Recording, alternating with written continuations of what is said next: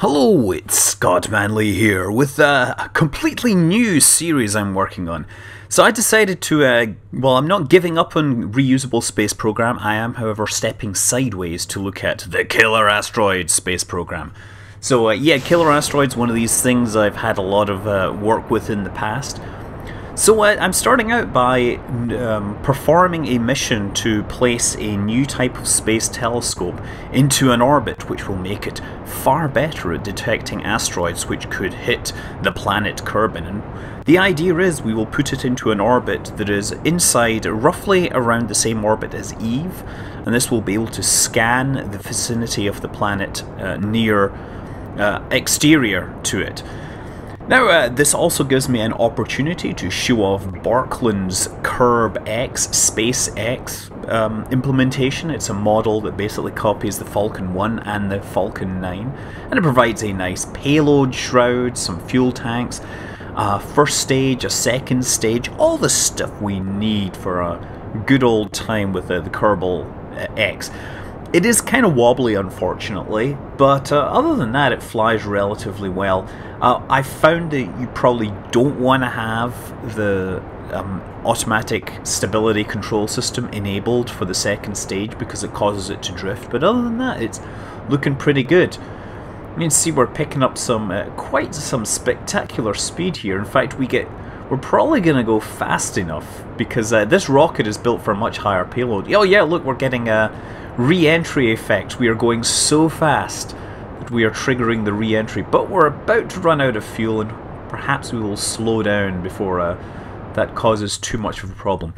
Good thing we have that payload fairing there. Of course we can do a proper decouple disconnect, you know, rather than the explosive kind that we Kerbal pilots are more used to. So yeah, we're going to bring this thing up into orbit. It is it's designed for a much higher payload than what I've got here. I just need needed the payload shrouding to be as big as it was because I'm trying to copy a very specific space mission. And uh, that space mission is the Sentinel project that is being developed by the B612 Foundation. Now this is not a a mission that is being designed by a government. It's a mission that's been put together by a private um, your charity organization essentially. They, the B612 um, Foundation is essentially set itself up as a tax-free, you know, charity organization taking donations to help save the world from the prospect of, you know, being hit by a killer chunk of rock from space. And it is a very noble goal, and I fully support everything they do. And uh, there are a lot of really good people involved with this. They're looking for something like $450 million from donors, and the idea is they will be able to launch a telescope. Uh, something like the Spitzer Space Telescope um, that will basically be an infrared based telescope because it's actually easier to see a lot of asteroids in the infrared than it is in the optical. If you remember my asteroid discovery vi um, video, there is a section towards the end around uh, 2010 where the, the WISE telescope comes online and it's able to detect asteroids in a whole bunch of areas that the regular observations weren't seeing them. So this is following the same notion. The thing about WISE was that it had a camera that was cooled by liquid helium, and their supply of liquid helium was only supposed to last like a year and a half, and so now it's basically not operating anymore.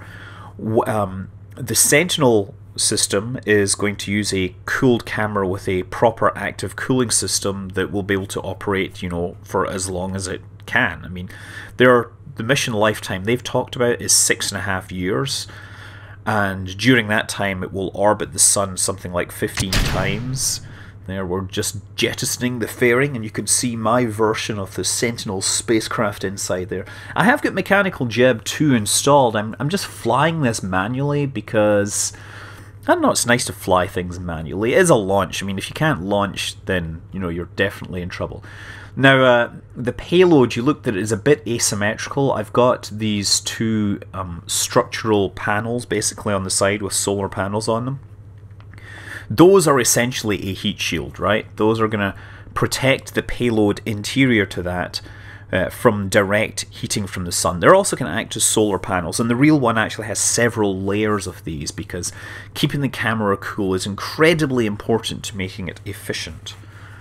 Now, the camera which is being developed by Ball Aerospace is an interesting kind of hybrid. It's essentially a very wide field detector with uh, lots and lots of small detectors. So the idea being that it's cheaper to build small detectors but then have lots of them. It's just a linear scaling. Whereas if you want to have a detector that's four to, with uh, you know twice the linear dimension, that's four times the area and typically 40 times the cost or something ridiculous. But by doing lots of smaller detectors, lots of smaller CCDs, of course, it becomes much more commodity hardware and cheaper. Now, this thing, of course, will orbit interior to the Earth's orbit, and it will need like deep space tracking network to talk to it. But the spacecraft itself is largely autonomous with enough processing power and onboard storage, something like 96 gigab gigabytes. So uh, there it will be able to, you know, scan the sky on its own classify objects, find things that are moving, determine their orbits, and when it talks back to the deep space network, it will be able to pass its findings on. And the idea is that uh, it should be able to detect anything that is bigger than about 140 meters, and it will detect lots of objects much smaller than this. I think the goal is to get 90% of the objects that are 140 meters or bigger, and that's like a you know pretty sizable uh, pretty sizable object. It's not quite continent busting, but if it was to hit, you know, a populated area or even, you know, within 100 miles of a populated area, it would be, you know, serious bad news. So detecting these things and finding them is very important. You know, back when we were looking at the killer asteroid, as we say, issue, uh, the cosmic impact threat, you know, we kind of we thought that the small ones were the ones that were would happen on political timescales, but it was the big ones which were easier to detect. But now, with technology improving, the smaller ones are actually a much more viable alternative because people can think on timescales of hundred years and things like that. They can't think of time on timescales of hundred thousand years. That uh, becomes a little hard. So now we've got ourselves in orbit.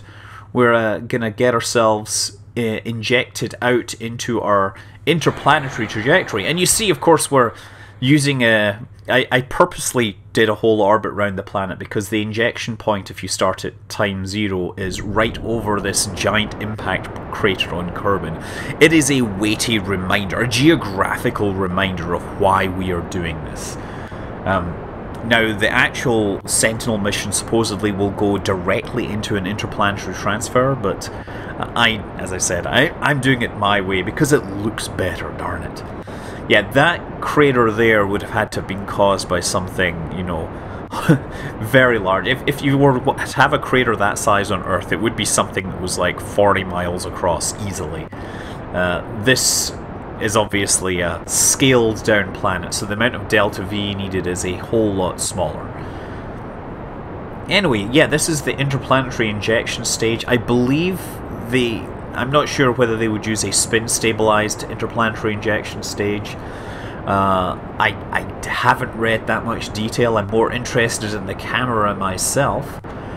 But um, there we're going to get up and you, we're just watching in the bottom right corner the apoapsis it will eventually go negative indicating that we have passed beyond the sphere of influence. We are going to escape the sphere of influence of planet Kerbin. The see what happens is when you're on a hyperbolic trajectory your periaps remains normal but your apoaps goes negative which is a fancy way of saying very very very long way beyond infinity Anyway, there we are. We are on our injection transfer. Now we just got to bring the orbit down a little further. And I, I could have used a maneuver node to do this, but, uh, you know, you'll just see. I'm just going to point it along this. You'll also notice my steering is very wobbly. To try and get this space probe designed, it was a bit off-center with the center of mass, so it does tend to torque around as I'm trying to as I apply acceleration to it. It it was just a design that was very hard to replicate with any in any manner that let it uh, be stable. Let's say. So there we go. We're gonna set up uh, an uh, whatever a circularization burn here, and that will be great because we'll be able to use Kerbal alarm clock to put our put our window in, put a, an alarm in to remind us. And that's. Uh, oh, we got an old one there. Uh, we're all ready to go. The old one, I don't know, I guess was from a previous attempt. Uh, yes, this has been done before. Uh, the previous attempt, however, was done with the Soyuz, and then I found that somebody had done a really good Kerbal X pack. So uh, I decided to stick with it. And let us say farewell to the planet Kerbin. We hope when we leave you, you are a beautiful place and you are safe, and we hope to maintain your safety by telling you of any threats that may be coming your way. I mean, so this is the this is the whole um, you know asteroid threat issue. B612 originally set out to go and explore the possibility of diverting an asteroid, and that was kind of their main goal. However, they decided at some point that detection was a higher priority and perhaps a more feasible goal, something that people would perhaps donate to. Um, or, you know, money would be more readily available for something more feasible. So the Sentinel telescope is a you know brilliant idea because if you look at things like the Chelyabinsk meteor, and I probably mispronounced that, as far as we can tell, that was not detected beforehand. It literally came out of the sun at the planet and flew overhead, and the first that most people knew about it was when people were on the ground tweeting, oh crap, there was a meteorite flying overhead. Awesome thing about that event was that people tweeted that out, and then two minutes later, the shockwave hit the ground, the audible shockwave, and people inside started saying, What the hell was that noise? So if you look at the tweets around that time, you can actually see like a two minute gap between the first sightings of the of the object and the audible reports. Anyway, um, rather embarrassingly, and uh, this is not indicative of regular flight operations, I have forgotten to turn my spacecraft and maintain its solar panel orientation with respect to the sun. So uh, I'm going to have to come around for another pass on this. Uh, my spacecraft is dead in the water. Obviously, this would not happen in real life because you would have mission control telling the spacecraft to maintain its orientation. However, uh, I am human, I am fallible, and I am distracted doing other things. It does happen on occasion, of course. Uh, the SOHO probe, the SOHO uh, Solar Heliospheric Observatory, it was a an object, a spacecraft that would watch the sun, and it sat in the Lagrange point between the Earth and the sun.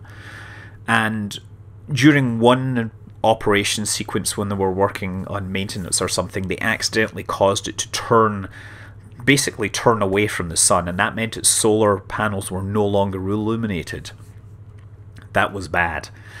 Uh, and so the the thing ran out of power, and they lost all contact with it. But as it moved around the sun, the rotation of the sun and the earth eventually caused the orientation to come back and illuminate the solar cells again. So after three months, they were able to reacquire control of it, and uh, it's still actually running to this day. It's providing great data. Okay, so now we have power on this thing again. I'm going to rotate it around into an orientation that will let me maintain the power a little longer this time. By aligning the spacecraft with the normal vector of the orbit, we should be able to cover 270 degrees with the, the panels, which are basically at 90 degrees to each other, so we get decent coverage.